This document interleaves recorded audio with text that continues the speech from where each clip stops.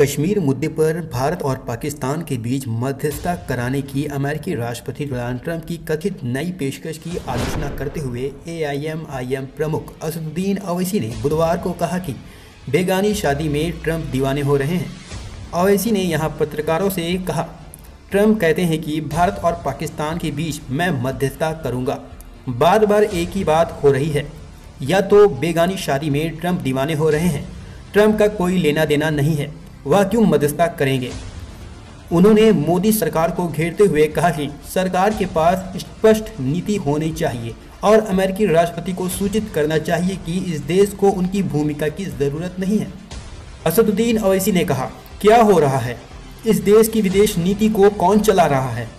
हम ट्रंप से इतने क्यों डर रहे हैं? कि हम प्रतिक्रिया भी नहीं दे पा रहे हैं? सरकार के पास नीति होनी चाहिए और साफ़ साफ़ यह कहना चाहिए कि हमें ट्रंप की ज़रूरत नहीं है। इससे पहले बुधवार को भी असदुद्दीन अवैसी ने कश्मीर मुद्दे पर डोनाल्ड ट्रंप पर निशाना साधा था।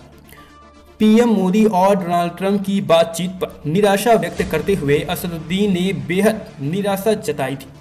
असदुद्दीन अवैसी ने पूछा था कि क्या ट्रंप पूरी दुनिया के पुलिसकर्मी हैं या चौधरी हैं? उन्होंने कहा, हम शुरू से ही यह कहते आ रहे हैं कि कश्मीर एक द्विपक्षीय मुद्दा है। भारत का इस पर बहुत ही स्थिर रुख है। फिर प्रधानमंत्री मोदी को अमेरिकी राष्ट्रपति डोनाल्ड ट्रंप से बातचीत करने और इसकी शिकायत करने की क्या आवश्यकता थी? असदुद्दीन ओवैसी ने कहा, हमारे पीएम ने फ़ोन पर कश्मीर को लेकर डोनाल्ड ट्रंप से बातचीत की। ट्रंप हमारे लिए क्या हैं? क्या वह पूरी दुनिया के पुलिसकर्मी हैं या वह कोई चौधरी हैं? आपकी इस खबर पर क्या राय है, कमेंट करके ज़रूर बताएँ। और ऐसे ही ताज़ा वीडियो देखने के लिए हमारे चैनल को सब्सक्राइब करें। Thank for watching please subscribe TV N live